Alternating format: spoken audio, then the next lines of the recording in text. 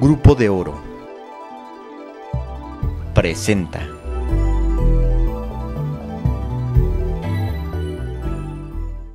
Este miércoles se presentó el nuevo director técnico de Monarcas Morelia, el profesor José Guadalupe Cruz, que encabezará es, durante esta temporada el partido del próximo Chiapas como nuevo director técnico. Su auxiliar técnico será Mario García, en lo que dieron fin al proyecto de Ángel David Comiso en el banquillo Purepecha.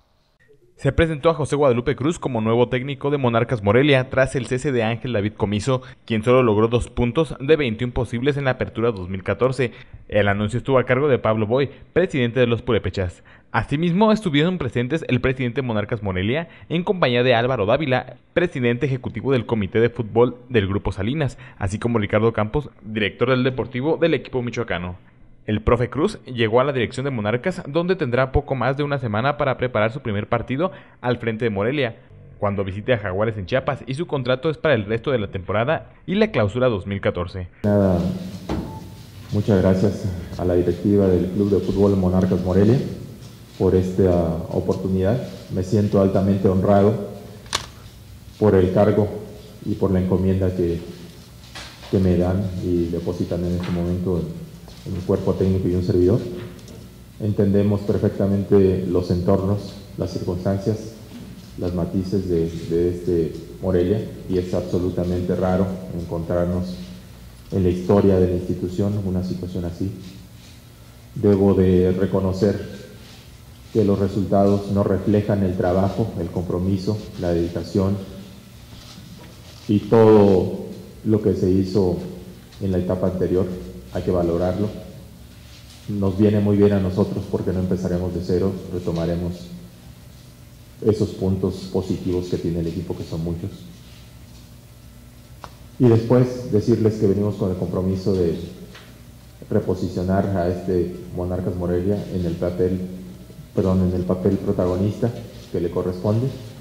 Vamos a sumar nuestros esfuerzos, igual que la directiva, igual que los jugadores, para que la afición se sienta como siempre lo ha sido, orgullosa de este equipo.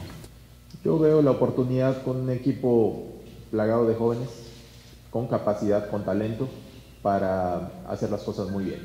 Eh, recuerda que un equipo plagado de estrellas y con nóminas importantes no es garantía de resultados positivos. Por otra parte, Álvaro Dávila, presidente ejecutivo del Comité de Fútbol del Grupo Salinas, consideró que el proyecto de Monarcas Morelia no está destruido, solo es una etapa diferente en la cual se está apostando por la cantera.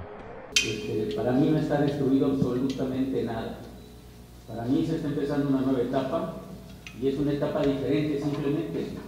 Creo que, que las cosas que hemos construido aquí están, aquí están, están sólidas, y, esos lamentos y ese lenguaje que usas, que se me hace de lo más negativo, y eso es lo que nos, precisamente con tipos como tú, es como se ha enfermado y se comunica una inseguridad a este grupo.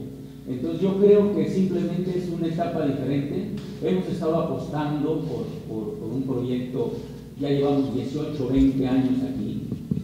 Si una etapa mala, quizá de las más malas que digo, eso es destrozar a un equipo, se me hace un poco exagerado de tu parte.